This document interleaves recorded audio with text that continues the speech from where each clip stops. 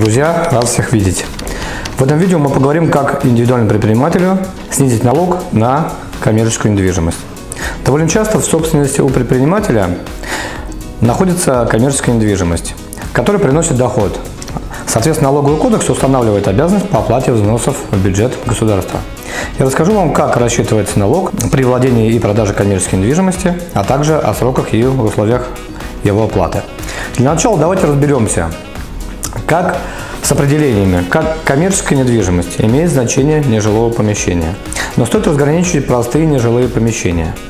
К примеру, гаражи и нежилые помещения, используемые для извлечения прибыли. Например, магазины, салоны красоты, ателье и тому подобное.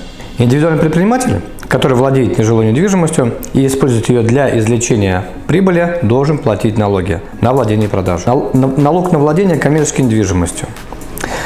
Собственник некоммерческого помещения обязан до 1 декабря года, который следует за истекшим налоговым периодом, оплатить налог на владение объектом коммерческой недвижимости. Размер налога налоговая инспекция определяет согласно статье 14 Налогового кодекса. Этот налог является региональным. И, соответственно, именно законодательные, представительные органы субъектов Российской Федерации определяют ставку, порядок и, опла- и сроки уплаты налога.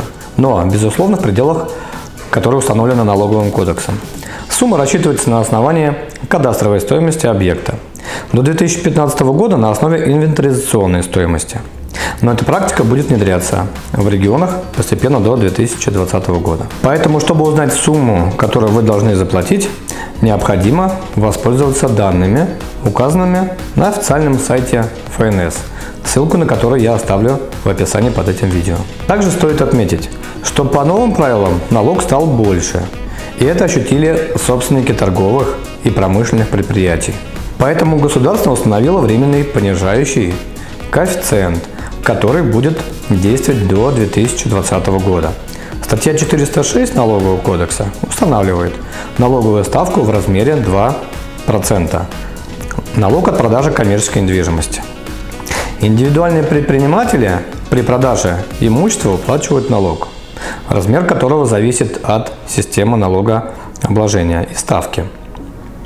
Основная ставка составляет 13%, но для лиц, которые большую часть времени проживают за границей, 30% от кадастровой стоимости объекта.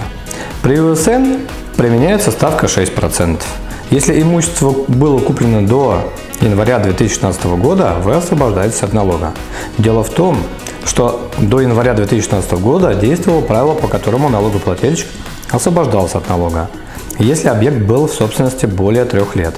А три года с января 2016 года это как раз январь 2019 года.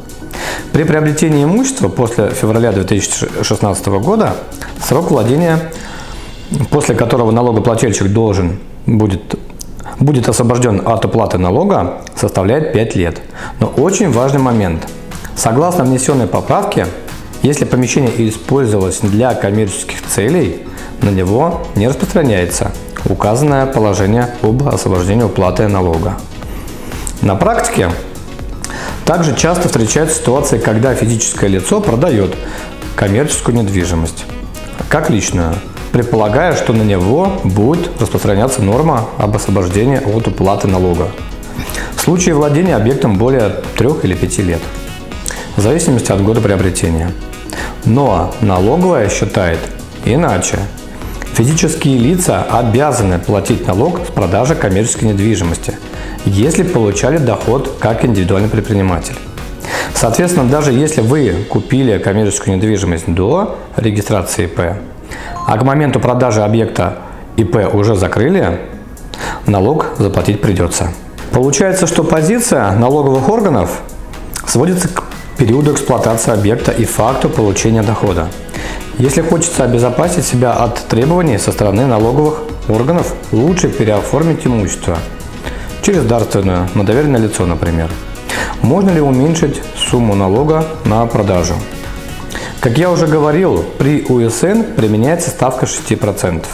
Если во время использования помещения вы не, э, пользовались УСН, то при продаже придется заплатить 13%. Но при наличии действующего ИП, работающего по УСН, можно заплатить налог по сниженной ставке. Правда, придется доказывать, что объект использовался в настоящей предпринимательской деятельности. В случае, если зарегистрировано ООО, уменьшить взнос тоже можно. От того, внесен ли объект недвижимости учредителем в уставный капитал. Зависит, какой налог вы будете платить. Если помещение входит в уставный капитал, при продаже учредитель имеет право компенсировать свои затраты на приобретение собственности. Если они близки к доходу от продажи, можно снизить сумму налога. Нюансов в вопросе очень много, поэтому при расчете налога на коммерческую недвижимость рекомендую воспользоваться онлайн-сервисом на официальном сайте Федеральной налоговой службы, в котором есть калькулятор расчетов для конкретного региона и возможность пересчета с учетом всех индивидуальных характеристик объекта и ситуации. Ссылку на сайт я оставлю под этим видео. Друзья, если вам понравилось это видео, вы можете поставить лайк, либо дизлайк. Оставляйте комментарии под этим видео, я обязательно отвечу. Всем удачи!